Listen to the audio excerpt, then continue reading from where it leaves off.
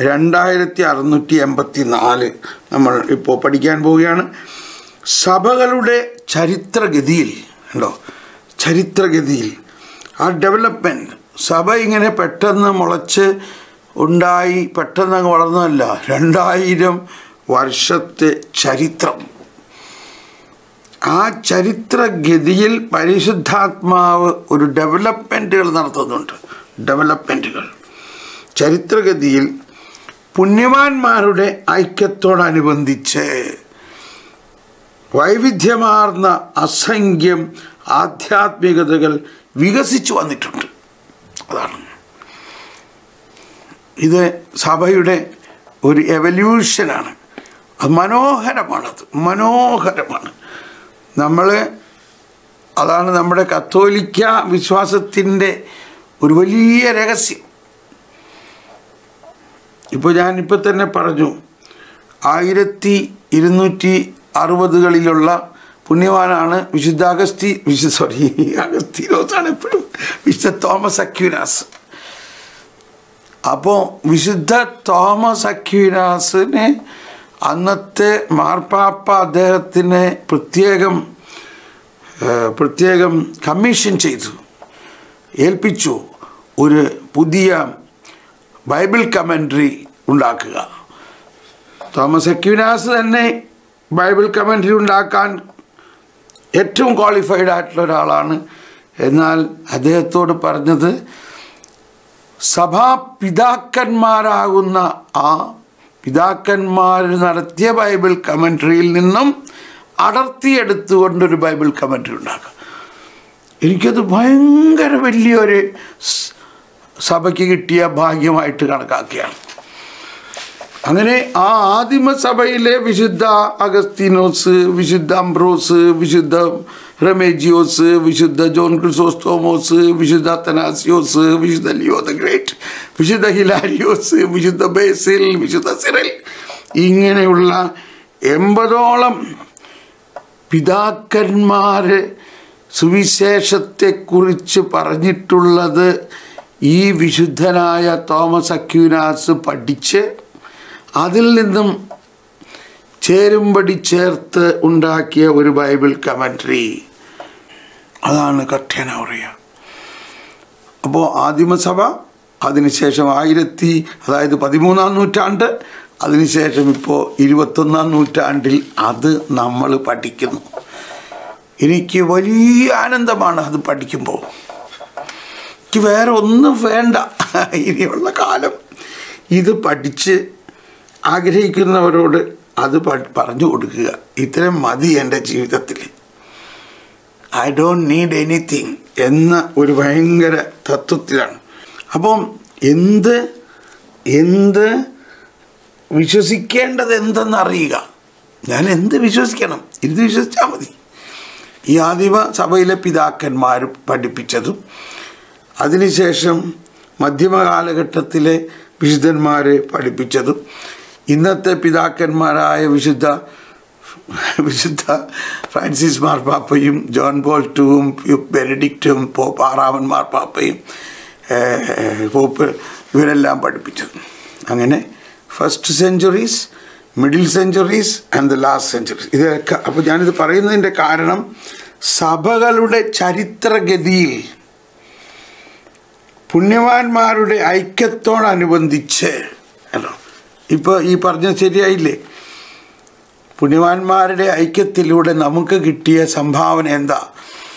ഈ സഭാപിതാക്കന്മാർക്ക് പരിശുദ്ധാത്മാവ് വെളിപ്പെടുത്തി കൊടുത്ത കാര്യങ്ങൾ അതിനുശേഷം പുണ്യവാന്മാർ തന്നെ പഠിച്ച് അതിനുശേഷമുള്ള തലമുറകളിലേക്ക് കൈമാറുന്നു. സഭകളുടെ ചരിത്രഗതിയിൽ. അപ്പോൾ പുണ്യവാന്മാരെ കുറിച്ച് നമ്മൾക്കറിയാം. പക്ഷേ എന്റെ ഒരു എളിയ അഭിപ്രായം നമ്മളത് മുഴുവനും മുതലെടുത്തിട്ടില്ല. നമ്മൾ കുഞ്ഞുനാൾ മുതൽ പുണ്യവാന്മാരെന്ന് പറഞ്ഞാൽ നമ്മൾ പള്ളി പെരുന്നാൾ ഓരോ പള്ളി പെരുന്നാളുകൾ ആ വിശുദ്ധന്റെ ജീവിതത്തെക്കുറിച്ച് നമ്മൾ പഠന വിഷയമാക്കണം. അപ്പോഴാണ് നമ്മൾക്ക് അതുപോലെ തന്നെ ഓരോ ദിവസവും വിശുദ്ധ കുർബാനയിൽ ഒരു പുണ്യാളനെ നമ്മൾ ഓർക്കുന്നുണ്ട് ഒരു വിശുദ്ധനെ ഓർക്കുന്നുണ്ട്. അപ്പോൾ അങ്ങനെ ആ വിശുദ്ധനെ സംബന്ധിച്ച് നോക്കുമ്പോൾ എന്താണ് അതിൽ നിന്ന് നമ്മൾ പഠിക്കേണ്ടത്? നമ്മളെ വിശുദ്ധരോട് നൊവേന ചൊല്ലി നമ്മുടെ കാര്യസാധ്യത്തിനായിട്ട് ചെല്ലിക്കോ? നൊവേന ചെല്ലിക്കോ? വിശുദ്ധൻ നമുക്ക് തരുന്ന കാര്യങ്ങൾ നമ്മൾക്ക് നേടിത്തരുന്നതെല്ലാം സമ്പാദിച്ചോ? പക്ഷേ ആ വിശുദ്ധന്റെ ജീവിതത്തിൽ ക്രിസ്തു എന്ത് ചെയ്തു എന്നുള്ളത് പഠിക്കണം നമ്മൾ. അപ്പം നമ്മൾ ഓരോരുത്തരുടെയും ജീവിതത്തിൽ അങ്ങനെ ഓരോ വിശുദ്ധരും വിശുദ്ധരും കാര്യമായിട്ട് ഇൻഫ്ലുവൻസ് ചെയ്ത് കാണും. ഇൻഫ്ലുവൻസ് ചെയ്ത് കാണും. ഇൻഫ്ലുവൻസ് ചെയ്ത് കാണും. എന്റെ ജീവിതത്തിൽ എന്നെ ഏറ്റവും ഇൻഫ്ലുവൻസ് ചെയ്തിട്ടുള്ളൊരു വിശുദ്ധനാണ് വിശുദ്ധ പൗലോസ് ലീഗ പൗലോസ് ലീഗയുടെ ലേഖനങ്ങൾ. അതുപോലെ വിശുദ്ധ കൊച്ചു ത്രേസ്യ. അപ്പോൾ അതുകൊണ്ട് എന്റെ അങ്ങനെ അതാണ് അവിടെ പറയുന്നത്. അതിലൂടെ ഉണ്ടായ വലിയ ആത്മീയ തരംഗം എന്നിലൂടെ ലോകം മുഴുവനിലേക്കും പ്രസരിക്കാനും ഇടയാകുന്നുണ്ട്. അങ്ങനെ നമ്മൾ ഓരോരുത്തർക്കും ലഭിക്കുന്ന ആ നമുക്കിവിടെ വായിക്കാം. സഭകളുടെ ചരിത്രഗതിയിൽ പുണ്യവാന്മാരുടെ ഐക്യത്തിനോടനുബന്ധിച്ച് വൈവിധ്യമാർന്ന അസംഖ്യം ആധ്യാത്മികതകൾ വികസിച്ചു വന്നിട്ടുണ്ട്. ഇപ്പം ഞാനതിന് കൃത്യമായിട്ട് പറയുകയാണെങ്കിൽ വിശുദ്ധ കൊച്ചു ത്രേസ്യ നമ്മളെല്ലാവർക്കും നാട്ടിൽ ചെറുപുഷ്പ മിഷൻ ലീഗ് ഇങ്ങനെയെല്ലാം ഉള്ള സംവിധാനങ്ങളുണ്ട്. വിശുദ്ധ കൊച്ചു ത്രേസ്യയിൽ നിന്നും എന്നെ ഏറ്റവും ബോധ്യപ്പെടുത്തിയ ഒരു കാര്യം പ്രാർത്ഥന പ്രേഷിതത്വമാണ് പ്രവർത്തന പ്രേഷിതത്വത്തിന്റെ ചുക്കാൻ അല്ലെങ്കിൽ ശക്തി. പ്രാർത്ഥനാ പ്രേഷിതത്വമാണ് പ്രവർത്തന പ്രേഷിതത്വത്തെക്കാൾ ശ്രേഷ്ഠം. അതാണ്. അപ്പോൾ ഞാനൊരു എൻജിനീയറിങ് ബാക്ക്ഗ്രൗണ്ട് ഉള്ളതിന്റെ പേരിൽ അന്നേ തന്നെ ഒരു എൻജിനീയർ എന്നുള്ള നിലയിൽ വലിയ കാര്യങ്ങൾ എന്നെ കൊണ്ട് ചെയ്തതിന്റെ ഒരു ടെക്നോളജിക്കൽ കാര്യം ലിവർ ആൻഡ് ഫൾക്രം ഉപയോഗിച്ചുകൊണ്ടാണ്. Lever and fulcrum. അതായത് വലിയ ഒരു മിഷൻ പൊക്കണമെങ്കിൽ അതിന് വലിയ ക്രെയിനൊന്നും അന്നത്തെ കാലത്തില്ല. എങ്ങനെ ഇത് പൊക്കും? വലിയ നീളത്തിലുള്ള ഒരു ലിവർ വെച്ചിട്ട് ഒരു കട്ട വെച്ച് അതിനെ ഇങ്ങനെ പൊക്കും. പൊക്കി കഴിഞ്ഞിട്ട് അതിന്റെ താഴെ സ്ലീപ്പറുകൾ കൊണ്ടുവന്ന് കയറ്റും. അപ്പോൾ അത് പൊങ്ങി കുറേ അത് കഴിഞ്ഞ് വീണ്ടും വേറെ വലിയ ഒരു ലിവർ വെച്ച് വീണ്ടും പൊക്കി വീണ്ടും അങ്ങനെ പൊക്കി പൊക്കി. അപ്പോൾ നോക്കി ഞാൻ പലപ്പോഴും പറഞ്ഞിട്ടുണ്ട് സായിപ്പിനോട് ഞാൻ പറഞ്ഞു വലിയൊരു ജോലിക്ക് വേണ്ടി വിളിച്ചപ്പോൾ സായിപ്പ് പറഞ്ഞു നിനക്കത് ചെയ്യാൻ പറ്റില്ല. നിനക്ക് ഇത്രയും വലിയ ക്രെയിൻ ഉണ്ടോ? ഞാൻ പറഞ്ഞു എനിക്ക് ക്രെയിൻ ഇല്ലാത്ത സായിപ്പ് പറഞ്ഞു ഗെറ്റ് ഔട്ട് ഗോ അവേ ഞാൻ പറഞ്ഞു സാറേ ഞാൻ ഇത്രയും ദൂരത്ത് നിന്ന് ബോംബെയിൽ നിന്ന് മൈസൂർ വരെ വന്നു. I have an idea no it's not possible ഞാൻ ഇയാളെ എങ്ങനെ പറഞ്ഞ് മനസ്സിലാക്കും?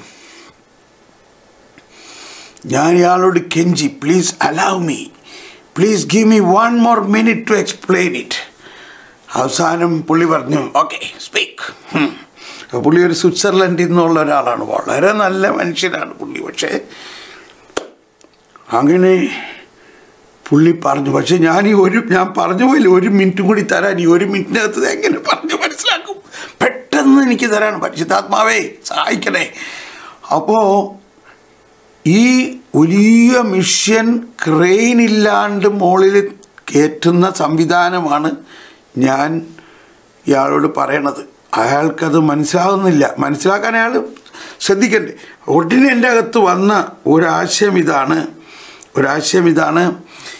We are Indians we built Taj Mahal without crane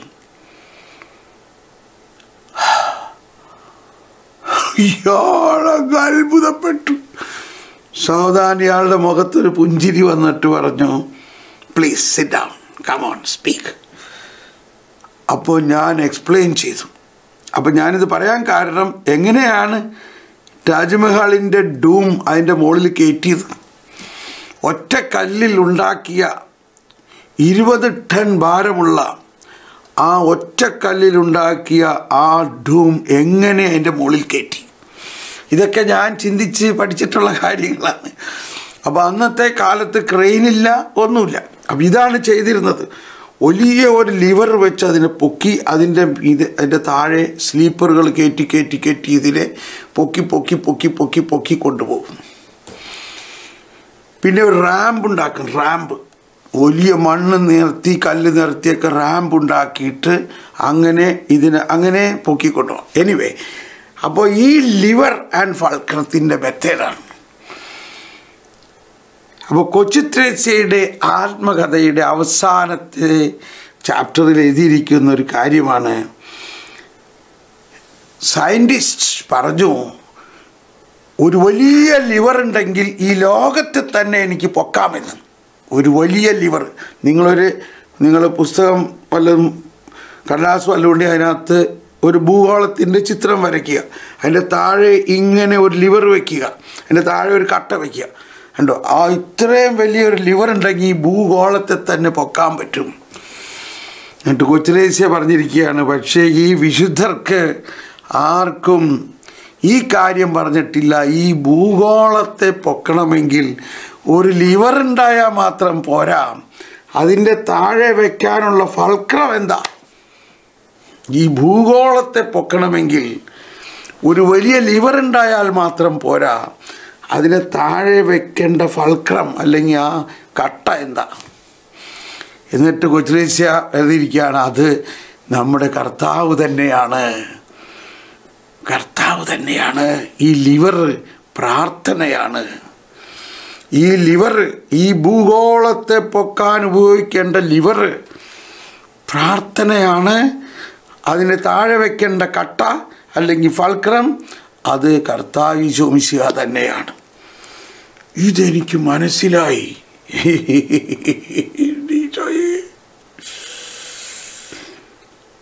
അങ്ങനെയാണ് ഭാരതത്തിൽ ഇപ്പോൾ ഞാനത് പറയുകയാണ് ആരോടും അധികം പറയാത്തൊരു കാര്യമാണ്. ഭാരതത്തിൽ നൂറിൽ പരം ആരാധനാ കേന്ദ്രങ്ങൾ നമ്മളിലൂടെ കർത്താവ് ഉണ്ടാക്കി. അതാണ് ഭാരതത്തിന്റെ സുവിശേഷവൽക്കരണത്തിനെ വലിയ തരത്തിൽ ഉണ്ടായ അനുഭവം. അത് കഴിഞ്ഞിട്ടാണ് കർത്താവ് എന്നെ യൂറോപ്പിലേക്ക് കൊണ്ടുവന്നത്. ഇവിടെ ഞാൻ ഈ ഐഡിയ പറഞ്ഞപ്പോൾ എല്ലാവരും എക്സൈറ്റഡായി അങ്ങനെ പക്ഷെ ആർക്കും ഇരുപത്തിനാല് മണിക്കൂറൊക്കെ ഇരുന്ന് പ്രാർത്ഥിക്കണം എന്ന് പറഞ്ഞു കഴിഞ്ഞാൽ ആർക്കും പറ്റില്ല അതിനിവിടെ ആളെ കിട്ടില്ല എന്നിട്ട് നാട്ടിൽ നിന്ന് ആളുകളെ കൊണ്ടുവന്ന് രാവും പകലും ഇരുപത്തിനാല് മണിക്കൂറും പ്രാർത്ഥിക്കുന്ന ആരാധനാലയങ്ങളുണ്ടായി. ഇന്നിവിടെ ഇഷ്ടം പോലെ അങ്ങനത്തെ ആലയങ്ങളുണ്ട്. അന്ന് ഒരാൾക്കും അത് ചിന്തിക്കാൻ പറ്റില്ല. രാവും പകലും പ്രാർത്ഥിക്കുക ഇതെങ്ങനെ സംഭവിക്കും?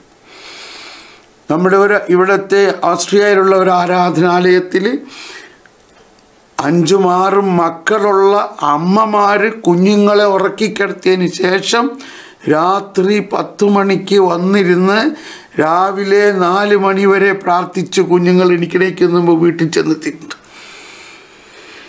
Yeah, thank you, Bindu. Our fulcrum is God, our liver prayer, prayer which burns with love. With that, we can live the world. Thank you, thank you very much. Thank you. Exactly. That is the word, Saint Teresa. So, fulcrum is God. Our liver is prayer. സാധാരണ പ്രാർത്ഥനയല്ല which burns with love ദൈവസ്നേഹം കൊണ്ട് ജ്വലിക്കുന്ന പ്രാർത്ഥനയ്ക്ക് ഈ ലോകത്തെ തന്നെ we we can live the world അപ്പം ഞാൻ പറയാണ് ഇതാണ് ഇരുപത്തഞ്ച് വർഷമായിട്ട് എന്നെ നയിച്ചുകൊണ്ടിരിക്കുന്ന ഒരു ചാലക ശക്തി.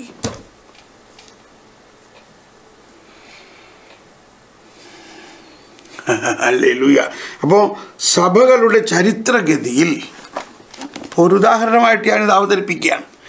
ഒരു ലിവിങ് എക്സാമ്പിൾ സഭകളുടെ ചരിത്രഗതിയിൽ പുണ്യവാന്മാരുടെ ഐക്യത്തോടനുബന്ധിച്ച് വൈവിധ്യമാർന്ന അസംഖ്യം ആധ്യാത്മികതകൾ വികസിച്ചു വന്നിട്ടുണ്ട്. എന്നിട്ട് ഇതിന്റെ ക്ലൈമാക്സ് പറയുകയാണെങ്കിൽ ഈ ഈ കാലയളവിൽ ഈ കൊച്ചുത്രേസ്യ തന്നെ എന്നെ ഫ്രാൻസിലുള്ള ലിസിയിൽ കൊച്ചുത്രേസ്യയുടെ ചാപ്പലിൽ കൊണ്ടുപോയി അവിടെ ഇരുത്തി പ്രാർത്ഥിപ്പിച്ചു. അവിടെ ഒരു നിത്യാരാധന തുടങ്ങാനുള്ള ക്രമീകരണങ്ങൾ ചെയ്തു. അങ്ങനെ ഇന്ന് ഫ്രാൻസിലെ ലിസിയിലെ പ്രധാന കത്തീഡ്രലിൽ ദിനരാത്രം ആരാധന നടന്നുകൊണ്ടിരിക്കുന്നു. അതിന് ഒരു നിമിത്തമായത് സാധാരണക്കാരായ കൊച്ചു കേരളത്തിൽ ജനിച്ചു വളർന്ന നമ്മളെപ്പോലുള്ള ആൾക്കാരാണെന്ന്. എന്ത് വിശ്വസിക്കണം? അവൻ വിശ്വസിക്കേണ്ടത് എന്തെന്നറിയുക അവൻ ആഗ്രഹിക്കേണ്ടത് എന്തെന്നറിയുക അവൻ ചെയ്യേണ്ടതെന്നറി എന്തെന്നറിയുക. വിശുദ്ധ തോമസ് അക്യൂനാസ് അപ്പോൾ വീണ്ടും സഭകളുടെ ചരിത്രഗതിയിൽ പുണ്യവാന്മാരുടെ ഐക്യത്തോടനുബന്ധിച്ച് അതാണ്. ഇതൊക്കെ പുണ്യവാന്മാരുടെ ഐക്യമാണ്. നമ്മൾ ഈ പറയുന്ന കാര്യങ്ങൾ ഇന്ന് നമ്മൾ പഠിപ്പിക്കുന്ന കഥേനാവറയ ഇതൊക്കെ പുണ്യവാന്മാരുടെ ഐക്യത്തിൽ നിന്ന് രൂപപ്പെട്ടതല്ലേ? വൈവിധ്യമാർന്ന അസംഖ്യം ആധ്യാത്മികതകൾ വികസിച്ചു വന്നിട്ടുണ്ട്. ദൈവത്തിന് മനുഷ്യരോടുള്ള സ്നേഹത്തിന് സാക്ഷ്യം വഹിക്കുന്ന ചിലർക്ക്. എന്നിട്ട് പറയാണ് ഏലിയായിൽ നിന്ന് ഏലീഷാക്കും പിന്നീട് സ്നാവയോഗനാനും ലഭിച്ച ചൈതന്യം. കണ്ടോ? ആ ദൈവത്തിന്റെ ചൈതന്യത്തിന്റെ ഒരു ട്രെൻഡ് കണ്ടോ? ഏലിയായിൽ നിന്ന് എലീഷാക്കി എലീഷ പറയാണ് നിനക്ക് ഉള്ള ചൈതന്യത്തിന്റെ ഡബിൾ എനിക്ക് വേണം. അത് കഴിഞ്ഞ് യോഹന്നാന്റെ ചൈതന്യം. എലീ എലിയായുടെയും എലീഷായുടെയും ചൈതന്യത്തോടു കൂടിയാണ് സ്നാപയോഹനാൻ വന്നിരിക്കുന്നത്. അപ്പം എന്ന പോലെ ഈ ചൈതന്യങ്ങൾ നമ്മളിലും കുതിച്ചു ചാടാം ചൈതന്യങ്ങൾ. കൈമാറാൻ അവരുടെ അനുയായികൾ ഈ ചൈതന്യത്തിൽ പങ്കാ പങ്കാളികളാകാൻ വേണ്ടിയാണത്.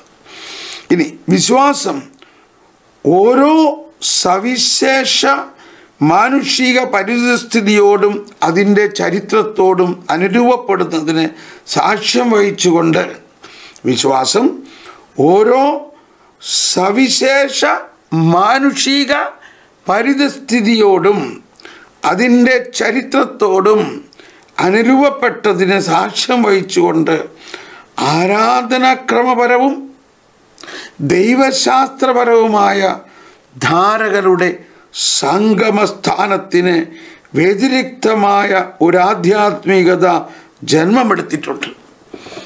അപ്പോൾ ഇതാണ് നമ്മൾ ഞാൻ പറഞ്ഞു കഴിഞ്ഞായിരുന്നു നമ്മളിൽ വ്യത്യസ്ത ആരാധനാ രീതികൾ ഉണ്ടാകാനുള്ള കാരണങ്ങൾ. അതിനെ നമ്മൾ ആരും വിമർശിക്കരുത്. നമ്മളൊരു വചനം പറഞ്ഞു. ഒന്ന് കുറേ ദിവസം പന്ത്രണ്ടിൽ നാല് അഞ്ച് ആറ്. അതാണ്. ഒരു ദാനങ്ങളിൽ വൈവിധ്യമുണ്ടെങ്കിലും ആത്മാവ് ഒന്ന് തന്നെയാണ്. ശുശ്രൂഷകളിൽ വൈവിധ്യമുണ്ടെങ്കിലും കർത്താവ് ശ്രമിച്ച കർത്താവ് ഒന്ന് തന്നെയാണ്. പ്രവർത്തികളിൽ വൈവിധ്യമുണ്ടെങ്കിലും സകലതും സകലത്തിനും പ്രചോദനം നൽകുന്ന ദൈവം ഒന്ന് തന്നെ കണ്ടു ഇതിലൊരു ട്രിനിറ്റേറിയൻ പിക്ചർ കണ്ടോ? ട്രിനിറ്റി പരിശുദ്ധാത്മാവ് ആദ്യം. പിന്നെ കർത്താവ് ശമിച്ച പിന്നെ പിതാവ്. അത് ഭയങ്കര ഒരു കണ്ടുപിടുത്തമാണത്. അങ്ങനെ കോടിക്കണക്കിന് ശുശ്രൂഷകളാണ് വ്യത്യസ്ത രീതിയിൽ ദൈവം ഉണ്ടാക്കുന്നത്. ഞാൻ പലരോടും പറയാറുണ്ട് നിങ്ങളിങ്ങനെ ഉറങ്ങിയിരുന്നാൽ പോരാ നിങ്ങൾ ചോദിക്കുക എന്നിലൂടെ എന്ത് ശുശ്രൂഷയാണ് ആഗ്രഹിക്കുന്നത്? പരിശുദ്ധാത്മാവേ അപ്പോൾ മാർപ്പാപ്പ ഫ്രാൻസിസ് മാർപ്പാപ്പയുടെ ആ ആ സുവിശേഷത്തിന്റെ ആനന്ദത്തിൽ ആദ്യം തന്നെ പറയുന്നതാണ് ഈ കാലഘട്ടത്തിന് ആവശ്യമായ നവീനമായ സുവിശേഷ സുവിശേഷ പ്രഘോഷണ രീതികൾ പരിശുദ്ധാത്മാവ് തരും. അതുപോലെ ആനന്ദിച്ച ആനന്ദിച്ച് ആഹ്ലാദിക്കുവിൻ. യാ ഗൗഡേറ്റ എക്സട്രാക്റ്റയിൽ പറയുന്നുണ്ട്. നീ ആഹ്ലാദിക്കുന്നില്ല എന്റെ പേര്. അതെ. അതിൽ പറയുന്നതാണ് പരിശുദ്ധാത്മാവ് കഴിഞ്ഞ കാലങ്ങളിൽ എന്തെല്ലാം വലിയ കാര്യങ്ങൾ നിങ്ങളെ ഇവിടെ നടത്തിയാലും അത് വളരെ നല്ലതാണെന്ന് തോന്നിയാലും ഇന്ന് പരിശുദ്ധാത്മാവ് എന്താണ് നിങ്ങളോട് പറയുന്നതെന്ന് ശ്രമിക്കുക അപ്പോൾ ഞാനതിന് ഇങ്ങനെയാണ് എപ്പോഴും ചിന്തിക്കാറ്. നമ്മളൊരു ഫ്ലൈറ്റിൽ പോവുകയാണെങ്കിൽ പൈലറ്റ് ഇന്നലത്തെ വെതർ റിപ്പോർട്ട് വെച്ചാണോ ഫ്ലൈറ്റ് ഓടിക്കേണ്ടത്? അല്ല ഇന്നത്തെ റിപ്പോർട്ട്. ഇന്ന് എന്താണ് പരിശുദ്ധാത്മാവ് നമ്മളോട് പറയേണ്ടത്? അത്രയ്ക്ക് ആക്യുറേറ്റ് ആയിട്ട് നമ്മളെ പുതിയ പുതിയ കാര്യങ്ങൾ പരിശുദ്ധാത്മാവ് പഠിപ്പിക്കും. പുതിയ പുതിയ കാര്യങ്ങൾ. പുതിയ പുതിയ കാര്യങ്ങൾ. ശുശ്രൂഷയുടെ മേഖലയിൽ. അതെ ഗൗരാത്തെ എക്സുട്ടാത്തിയിൽ പറയാം. പരിശുദ്ധാത്മാവിന് അപ്പം വിശ്വാസം ഓരോ സവിശേഷ മാനുഷിക പരിതസ്ഥിതിയോടും അതിന്റെ ചരിത്രത്തോടും അനുരൂപപ്പെട്ടതിനു പെട്ടതിന് പെട്ടതിന് സാക്ഷ്യം വഹിച്ചുകൊണ്ട് ആരാധനക്രമപരവും ദൈവശാസ്ത്രപരവുമായ ധാരകൾ ധാരകളുടെ സംഗമസ്ഥാനത്തിന് വ്യതിരിക്തമായ ഒരു ആധ്യാത്മികത ജന്മം എടുത്തു. ഇത് പറയുമ്പോൾ ഇരുപത് വർഷമായിട്ട് കർത്താവ് എന്നോട് പറയുന്നതാണ് നമുക്കൊരു ബൈബിൾ അക്കാഡമി ഉണ്ടാകണം. അപ്പോൾ കേരളത്തിൽ മലയാളത്തിൽ അൽമായരായിട്ടുള്ള ആളുകൾക്ക് വന്ന് കുടുംബസമേതം താമസിച്ച് ബൈബിൾ പഠിക്കാനുള്ള ഒരു സംവിധാനം. കുര്യൻ ജോസഫ് സാറിനെല്ലാം അറിയാം ഞങ്ങൾ ഇരുപത് വർഷം മുൻപേ ഇതിനെക്കുറിച്ച് ചർച്ച ചെയ്ത് പല സ്ഥലത്തും സ്ഥലമെടുക്കാൻ പോയി ഒന്നും നടന്നില്ല. ഇപ്പോൾ ചെങ്ങനാശ്ശേരിയിൽ അത് നടപ്പാക്കാൻ ഒരാൾ ഇങ്ങോട്ട് സ്ഥലം തന്നിരിക്കുകയാണ് പത്തേക്കർ സ്ഥലം. അവിടെ ഈശോ പറഞ്ഞു ആദ്യം നിങ്ങൾ അവിടെ വിശുദ്ധ കുർബാന എഴുന്നള്ളിച്ച് വെച്ച് പ്രാർത്ഥിക്കൂ. ദിനരാത്രം പ്രാർത്ഥിക്കണ്ടോ ഇപ്പോൾ കഴിഞ്ഞ രണ്ട് വർഷത്തിലധികമായി ഒരു ദിവസം പോലും മുടങ്ങാതെ ദിനരാത്രം പ്രാർത്ഥന അവിടെ നടക്കുന്നു. അപ്പോൾ കർത്താവ് മറ്റു കാര്യങ്ങളിങ്ങനെ കാണിച്ചു തന്നുകൊണ്ടിരിക്കുകയാണ്. ഇപ്പോൾ അവിടെ ബിൽഡിംഗ് കൺസ്ട്രക്ഷൻ ആരംഭിക്കാൻ പോകുന്നു. സിലബസ് ഉണ്ടാകുന്നു. എന്താ സിലബസ് ഇതാ ഇതൊക്കെയാണ് സിലബസ് അങ്ങനെ ഇനി വരും. ലോകത്തിന്റെ മറ്റ് രാജ്യങ്ങളിൽ പോയി സുവിശേഷം പഠിക്കുന്ന പോലെ കേരളത്തിൽ തന്നെ സുവിശേഷത്തിന്റെ ഉപരിപഠനത്തിന് ആവശ്യമായ ഒരു സംവിധാനം. അത് പഠിച്ചു വലിയ ഡോക്ടറേറ്റ് എടുക്കാൻ വേണ്ടിയല്ല ആദ്യം തന്നെ മനുഷ്യൻ അത് ജീവിക്കാൻ വേണ്ടി so it is an academy അത് ജീവിക്കാൻ വേണ്ടിയുള്ള പഠനമാണ്. എങ്ങനെ ഇത് ജീവിക്കണം എന്നുള്ളതാണ്. എങ്ങനെ ഇത് ജീവിക്കണം? അപ്പോൾ കുര്യൻ ജോസഫ് സാറേ താങ്ക് യു ഇതൊക്കെ ഓർക്കുമ്പോൾ ഭയങ്കര ആനന്ദമാണ്. ഞങ്ങൾ രണ്ടുപേരും കൂടി വേറെ ഞങ്ങളുടെ കൂടെ ഒരു സുഖമില്ലാത്ത കുര്യാക്കോസി ഏട്ടനുണ്ടായിരുന്നു. അങ്ങനെ എന്തെല്ലാം കാര്യങ്ങൾ അതിനു വേണ്ടി ചെയ്തു. അതെല്ലാം ഇരുപത് വർഷമായി ഇരുപത്തഞ്ച് വർഷമായി സാവധാനം നടക്കണുള്ളൂ. അതിപ്പോൾ നമ്മുടെ കുറ്റമല്ല. നമ്മൾ ധൃതി പിടിക്കണ്ട. അപ്പം അതെല്ലാം ഇതാണ് ദൈവശാസ്ത്രപരമായ ധാരകൾ. അതൊരു പുതിയ ധാരയായിട്ട് വരും പിന്നീട്. ഒരുപക്ഷെ യൂറോപ്പിൽ നിന്ന് ആളുകൾ കേരളത്തിൽ വന്ന് ബൈബിൾ പഠിക്കാൻ വരാൻ പാടില്ലായി ഒന്നുമില്ല അപ്പോൾ അങ്ങനെ സംഗമ ദൈവശാസ്ത്രപരമായ ധാരകളുടെ സംഗമസ്ഥാനത്ത് നിന്ന് വ്യതിരിക്തമായ ഒരു ആധ്യാത്മികത ജന്മമെടുത്തിട്ടുണ്ട്. വ്യതിരിക്തമായ ഒരാധ്യാത്മികത. എന്നാൽ എല്ലാത്തിന്റെ ഉറവിടം ഒന്ന് തന്നെയാണ് ഉറവിടം ഒന്ന് തന്നെയാണ് പക്ഷേ ഈ കാലഘട്ടത്തിൽ നമുക്ക് ആവശ്യമുണ്ട് ഇപ്പോൾ ഉദാഹരണത്തിന് ഏഞ്ചൽസ് ആർമിയിൽ സ്ക്രിപ്ചർ സ്കൂൾ ആരംഭിച്ചു. ഏഞ്ചൽസ് ആർമിയുടെ ലീഡേഴ്സിന്റെ കൂടെ ഉണ്ട്. ആ, ആ സ്ക്രിപ്ചർ സ്കൂളിൽ സ്ക്രിപ്ചർ പഠിപ്പിക്കാൻ എന്നോട് ആവശ്യപ്പെട്ടു. ഞാൻ അതിനുവേണ്ടി തയ്യാറെടുത്ത്. ദൈവമേ ഓരോ എപ്പിസോഡും ഉണ്ടാക്കുന്ന നേരത്ത് എന്നെ അങ്ങ് കർത്താവ് പറയാനില്ല നീ പോരാ. നീ പ്രാർത്ഥിക്ക്. ഒരു ദിവസം കൂടി പ്രാർത്ഥിക്ക്. അങ്ങനെ പ്രാർത്ഥിച്ചു കഴിഞ്ഞ് പിറ്റേ ദിവസം എടുക്കാൻ റെഡിയാ എല്ലാം റെഡിയായിട്ട് പറയാണ്. പോരാ കുറച്ചും കൂടി നിനക്ക് അഭിഷേകം വേണം. വലിയ ആളുകളോട് പറയണ മാതിരിയല്ല. നീ തന്നെ എളിമപ്പെട്ട് നീ ഇങ്ങനെ പ്രാർത്ഥിക്കുക ഒരു പതിനാറ് മിനിറ്റിന്റെ എപ്പിസോഡ് ഉണ്ടാക്കാൻ മൂന്ന് ദിവസം ഞാൻ കഷ്ടപ്പെട്ട് ഞാൻ തന്നെ എനിക്ക് വേണ്ടി വിശദീകരണ പ്രാർത്ഥനകൾ നടത്തി എന്നെ ഒരു കുഞ്ഞിനെ പോലെ ആക്കേണ്ടി വന്നു. ഞാൻ അതിനെ വിട്ടുകൊടുക്കുകയാണ്. എന്റെ പരിശുദ്ധാത്മാവ് പറയുന്ന കാര്യങ്ങൾ പഠിപ്പിക്കണം. സ്ക്രിപ്ചർ സ്കൂൾ അപ്പോൾ അത് എന്തുകൊണ്ടാണ്? അതൊരു പുതിയ ധാരയാണത്. ഒരു പുതിയ ധാരയാണ്. ആയിരത്തി ഇരുന്നൂറോളം പത്ത് വയസ്സ് മുതൽ പതിനാല് വയസ്സ് വരെയുള്ള ആയിരത്തി ഇരുന്നൂറോളം മക്കൾ പത്തൊമ്പത് രാജ്യങ്ങളിൽ നിന്ന് ഈ ഏഞ്ചൽസ് ആർമിയിലൂടെ അത് പഠിക്കുമ്പോൾ ഉണ്ടാകാവുന്ന തരംഗം എന്താണ്? അതാണ് ഒരു പുതിയ ധാര. നമ്മൾ കുട്ടികളെ ട്രിഗ്നോമെട്രിയും ആൾജിപ്രയും ടാൻ തീറ്റയും കോസ്തീറ്റയും എല്ലാം പഠിക്കാൻ വേണ്ടി ട്യൂഷനൊക്കെ കൊടുത്ത് ഭയങ്കര ബുദ്ധിമുട്ടുന്നുണ്ട്. അതുപോലെ തന്നെ അവരെ ദൈവത്തിന്റെ വചനത്തിന്റെ അന്തരാർത്ഥം കുഞ്ഞായിരിക്കുമ്പോൾ തന്നെ പഠിപ്പിക്കണം. അതുകൊണ്ടാണ് നമ്മൾ എടുത്തിരിക്കുന്ന തീം ഇങ്ങനെയാണ്. പന്ത്രണ്ട് വയസ്സുള്ള യേശു ഇങ്ങനെയാണ് മോഡലായിട്ട് എടുത്തേക്കണം കണ്ടോ? യേശു പന്ത്രണ്ട് വയസ്സുള്ള യേശു ജ്ഞാനം നിറഞ്ഞു വേദശാസ്ത്രികളോടൊപ്പം സംസാരിക്കുന്നു. എന്താ അവരവിടെ സംസാരിച്ചേ? എന്താ അവരവിടെ സംസാരിച്ചത്? എന്താ മൂന്ന് ദിവസം അവിടെ സംസാരിച്ചത്? ഇതൊക്കെ നമ്മൾ അന്വേഷിച്ച് കണ്ടുപിടിക്കണം. എന്നിട്ട് ആ രീതിയിൽ പന്ത്രണ്ട് വയസ്സുള്ള കുഞ്ഞുങ്ങളെ ആ ഈശോയെ അനു അനുകരിക്കുക.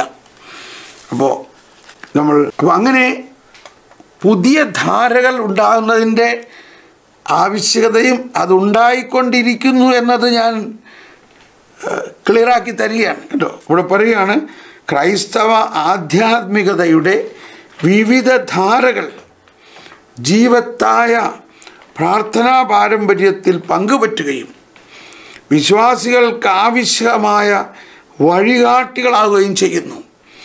അവയുടെ ധന്യമായ വൈവിധ്യം പരിശുദ്ധാത്മാവിന്റെ ഒരേ നിർമ്മല പ്രകാശത്തിന്റെ വിഭിന്ന നാളങ്ങളത്രേ.